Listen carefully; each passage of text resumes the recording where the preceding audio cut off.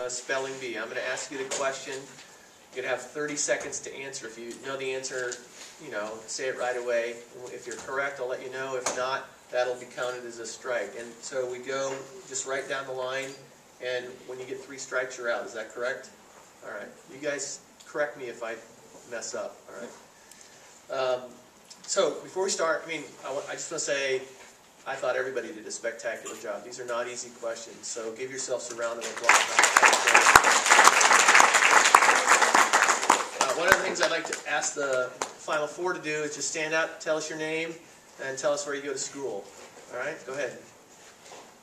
My name's Alex, and I go to Shawnee Mission East. Go Lancers.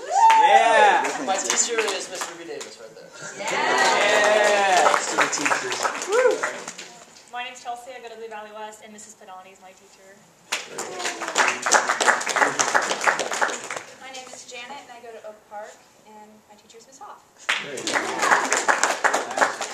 name is Vivek. I go to Blue Valley North, and my teacher didn't show up, but I have, I have an adopted teacher, so this professor.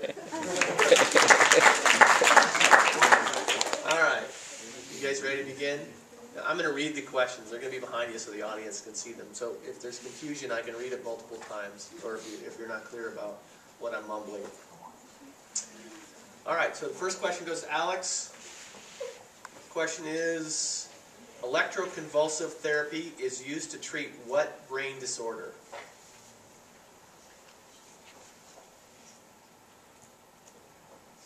Let's go with Parkinson's disease. The answer is depression or major depression. Good guess, though. Okay. All right, Chelsea, you ready? In what lobe of the cerebral cortex is the hippocampus located? That's correct, temporal lobe. Great. All right. All right, Janet, you ready? Huntington's chorea is characterized by the depletion of what neurotransmitter?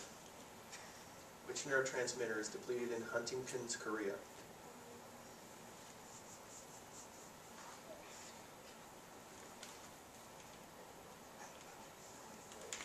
Any guess? Okay. The correct answer is GABA.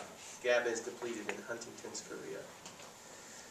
All right, Vivek, Vivek, what do you call the chemicals that support the survival of distant groups of neurons? Trophic factors. Trophic factors is correct. Good job. So we had two strikes there? Mm-hmm. Okay.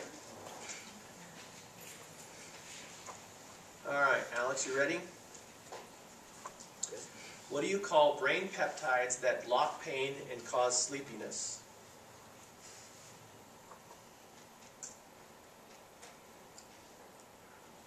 Polypeptide? Well, the correct answer is opioids. The opioids block pain. And, Good try. Good try. Just one more. All right. Um, Chelsea, you ready? Give the correct name other than pain receptor for the sensory receptors that respond to tissue damaging stimuli.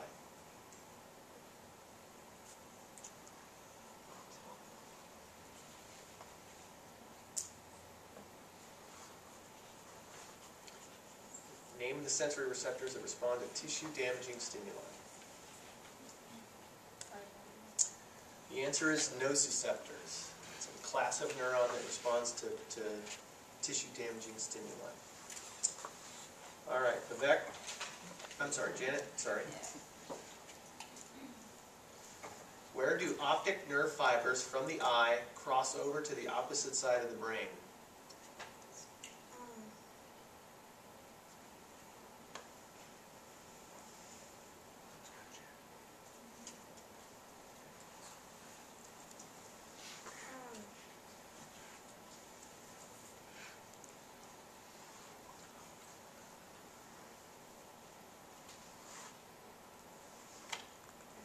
Guess? Remember it. I don't know. Honestly. Okay, the answer is the optic chiasm. Sorry. Okay, Vivek, you ready? Question is, Stimulating the sympathetic nervous sympathetic system does what to the blood flow to voluntary muscle? Increases it. It increases it, right? Increases blood flow. Okay, so uh, I, I, my calculation, Alex, you got two strikes. Uh, Chelsea, you got one. Is that correct? Janet, you got a couple. Yep. And Vivek, you got nothing yet. All right, here we go. Alex, you ready? Let's do this. Yeah. Here we go. Ready? Name the genetic syndrome more common in women characterized by repetitive motor and vocal tics in involuntary movements. That'd be Tourette's. Tourette's it is.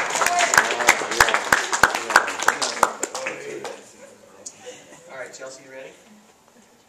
During what period of sleep do we become the- almost completely paralyzed? REM sleep. REM sleep is correct. Good job. Janet, you ready? Let me pause. All right, here we go. Name the receptors in muscles that must be stimulated in order to activate the stretch reflex.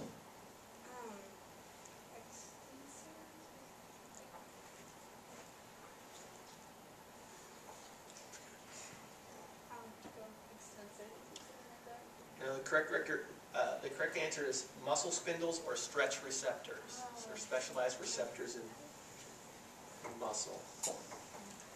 All right, Vivek, last question here. Ready? Which of the two types of photoreceptor cells is more sensitive to light? Cones. Cones. Yeah, actually the answer is rods. Rods are more sensitive to light.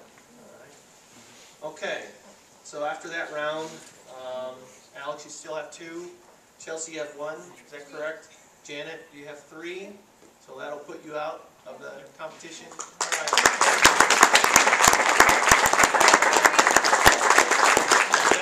One. Is that correct? Yeah. Am I right? Okay. All right, next round. Ready? What kind of memory depends on the amygdala?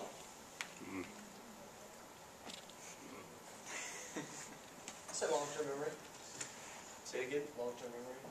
Actually, the answer is emotional memory. Memory that is associated with. Good job, Rory. That's three, right? That's three. Uh, So we have Chelsea and Vivek, both with one strike. You ready? Name the syndrome where the switching mechanism for REM sleep does not work properly. Name the syndrome where switching mechanism for REM sleep does not work properly. Mm-hmm.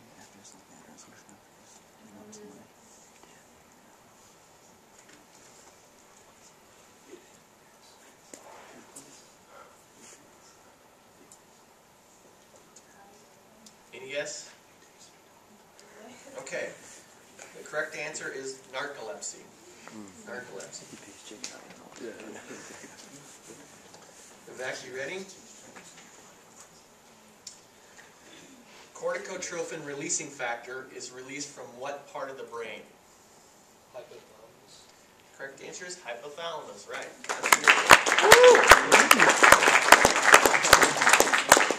Okay, so after that round, Chelsea, you got two strikes, Vivek still got one. You ready? Okay.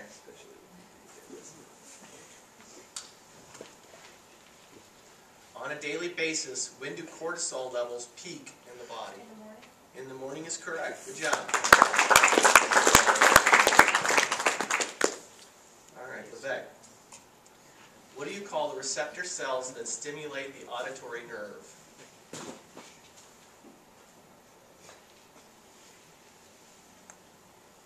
Hair cells. Hair cells is correct.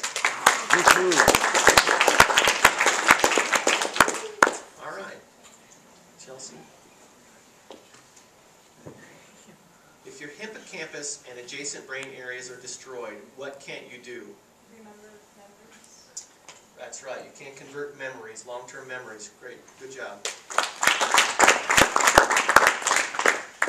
Vivek, to what side of the cerebral cortex does the left half of the visual field project?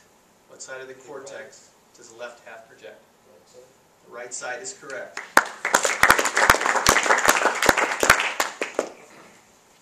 Are smoking on these, great job. All right, name the enzyme that induces the conversion of ATP to cyclic AMP. Enzyme that induces the conversion of ATP to cyclic AMP.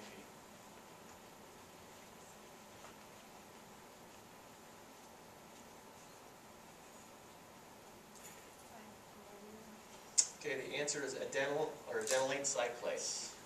Okay, all right, so that's third strike for you. We've got to finish on a, on a, on a, so, has to, so hang in there. Don't, Hold don't sit down quite yet.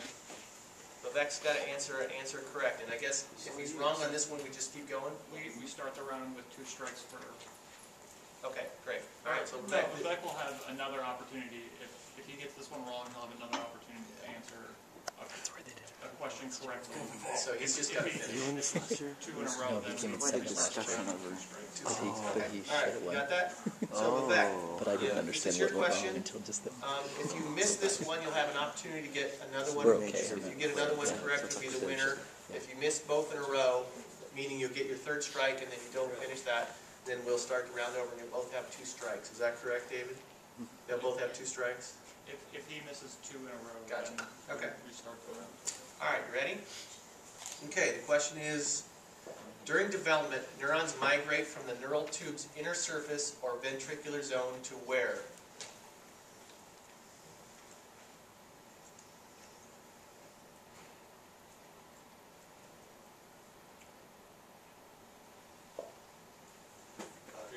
The outer surface is correct. All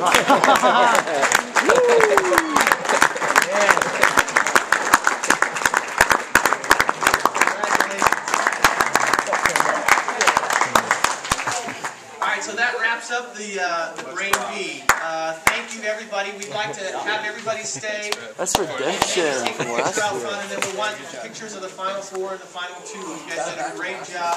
Uh, congratulations. As I mentioned, uh, we've got several displays over here. Take a look. The other thing that I'd like to mention, um, oh, a couple of things that we have. We've got certificates for all you guys for participating. Appreciate you guys getting up on a Saturday morning, studying brain facts, and coming down here. Um, the other thing that I'd like to um, let you know is that as another part of the outreach um, for the Society for Neuroscience chapter, we have a brain awareness weekend. It's a Saturday morning for about a three or four hour stretch on Saturday, March 19th. And what it is, it's exactly this room, and it's filled with displays about neuroscience. We'd love for you guys to come and or participate. If you guys want to participate and help demonstrate many of the things that go on, uh, we'd be glad to have you guys come back and participate. Um, and, and it's designed for elementary, uh, middle school sort of levels, uh, but there's lots of events and things. If you guys want to participate and volunteer, uh, looks good on a resume. I'd be more than happy to have you con- contact us and participate. All right. Um, anything else, uh, David, Will? Um, We no, just I, need to make sure we, we see the finalists, uh, so we can get, uh, all the information that we need, and, uh, um, yeah, everyone can, I guess, meet just out, all the participants meet just outside, uh, we'll get some pictures taken, and we'll get, uh, the certificates, uh, given out to all of you, and then, uh, anyone who wants to stay, we can do some demonstrations, uh, over in this corner. So if you just wanna move, uh,